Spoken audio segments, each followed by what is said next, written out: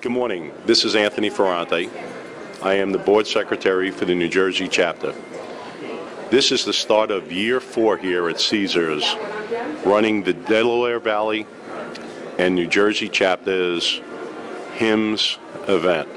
This year, we are excited to have over 80 sponsors, excited to also have over 45 speakers. While we go through this conference, it's about the education, it's about the networking, and the communication and the sharing of ideas with all of our counterparts.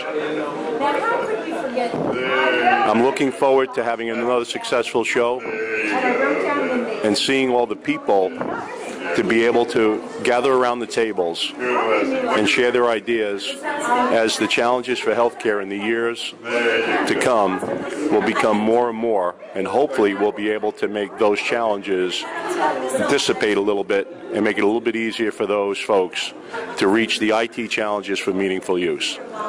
Everybody enjoy the show. If there's any questions, please see one of our members, and we'd be more than happy to make this an experience to be remembered. Thank you.